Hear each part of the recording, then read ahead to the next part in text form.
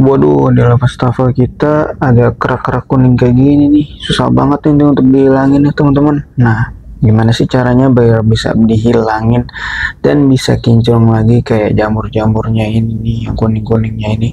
Sangat mudah sekali simak videonya sampai habis, jangan di skip. Assalamualaikum warahmatullahi wabarakatuh. Selamat datang di AD Kreatif. Di sini kita akan membuat hal yang mudah, murah, bermanfaat dan tentunya kreatif. Oke teman-teman, di video kali ini kita akan membuat gimana sih caranya biar wastafel kita agar kinclong moncong moncong ya teman-teman. Nah, seperti di video sebelumnya teman-teman, kita melihat di wastafel kita ada kerak-kerak kuning bahkan ada eh, jamur-jamur uh, yang ada di wastafelnya ya teman-teman. Apalagi di sini juga kita bisa membersihkan yang namanya keran-keran yang sudah berjamuran teman-teman. Nah gimana sih caranya? Hanya dengan dua bahan mudah seperti ini yang biasa kita temukan kita bisa membuat wastafel di rumah kita jadi kinclong lagi teman-teman. Oke gimana caranya? Langsung aja kita akan ke tutorialnya teman-teman nah yang pertama kita siapkan sebuah cepu elek-elek seperti ini ya teman-teman. Untuk kita uh, jadikan wadah teman-teman. Nah langkah selanjutnya adalah kita akan memasukkan sebuah garam dapur ini teman-teman ya. Ini garam dapur yang sudah kita masukkan di dalam sebuah wadah. Dan langsung aja kita taruhin aja teman-teman. Kurang lebih satu sendok garam dapur teman-teman nah oke. Okay. oke mantap hanya sedikit aja ya kita cobain sedikit satu sendok seperti ini.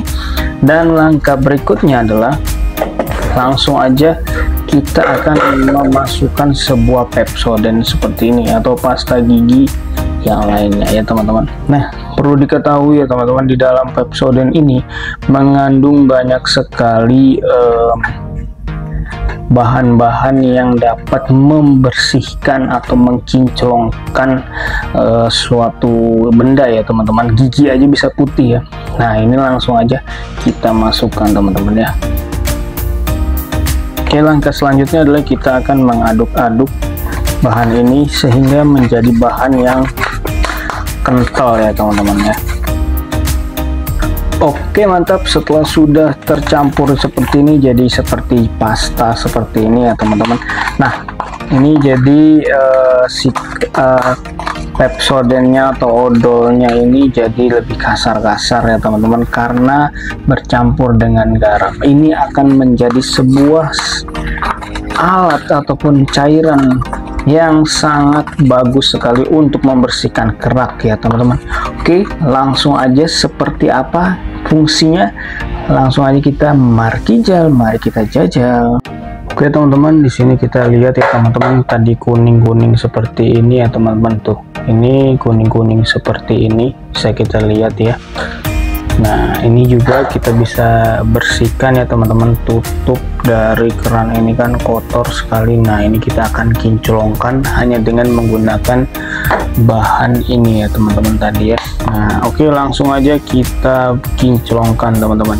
Oke kali ini kita akan menggunakan yang namanya ini teman-teman sikat gigi tadi teman-teman ya. Oke kita akan gosok-gosokkan aja nih yang di sini item-itemnya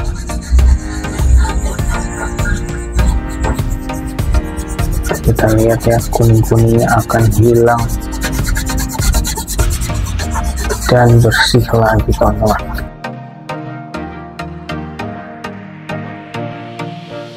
oke kita lihat terlebih dahulu.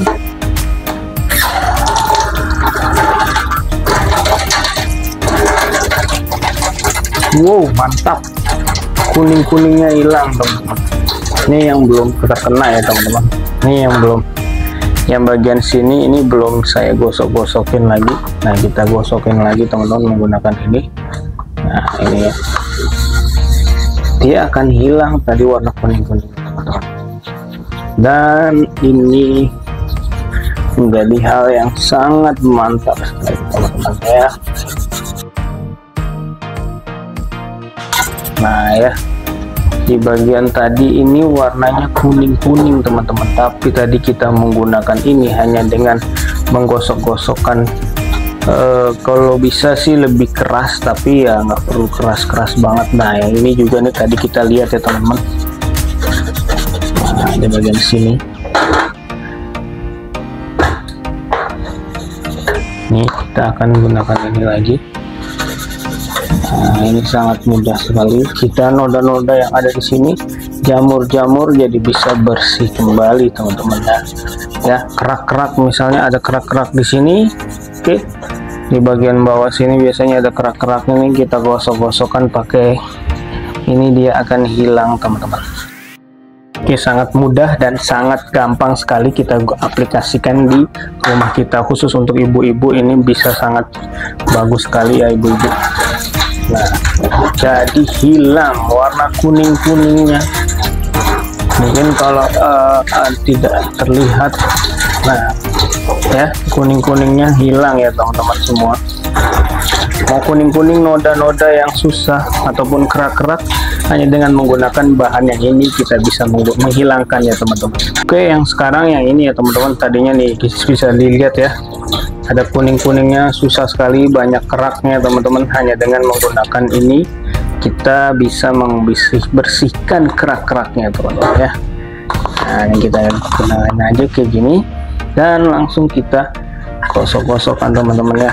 Kita lihat nanti hasilnya akan kinclong moncong moncong lagi Oke teman-teman kita bisa lihat ya teman-teman ini udah kita gosok-gosokkan sampai benar-benar bersih ya teman-teman. Untuk lebih maksimal kita bisa menggunakan pembersih-pembersih yang lainnya teman-teman ya. Seperti kayak kawat-kawat seperti itu ya teman-teman. Itu bisa juga membantu untuk membersihkan sehingga menjadi kinclong juga teman-teman. Oke kita bersihkan ya teman-teman. Kita lihat hasilnya. Wow ya teman-teman bisa kita lihat ya teman-teman. Kinclongnya luar biasa sekali teman-teman ya. Yang tadinya uh, buluk seperti itu ya. Uh, apa namanya? Yang tadinya buluk ya tidak ada nggak bersih nggak mengkilap ini menjadi kinclong sekali teman-teman. Dan ini penggunaan ini kita bisa gunakan di wastafel wastafel yang menggunakan aluminium ya teman-teman. Jadi kalau aluminium ada yang kotor-kotor berkerak ber susah sekali dibersihkan dengan menggunakan ramuan ini cairan ini kita bisa membersihkan lagi dan seperti baru lagi teman-teman.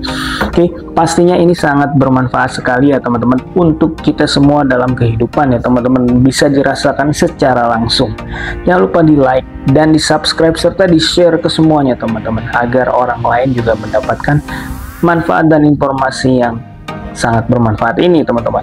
Sampai jumpa di video selanjutnya. Selamat mencoba. Wassalamualaikum warahmatullahi wabarakatuh. Mantap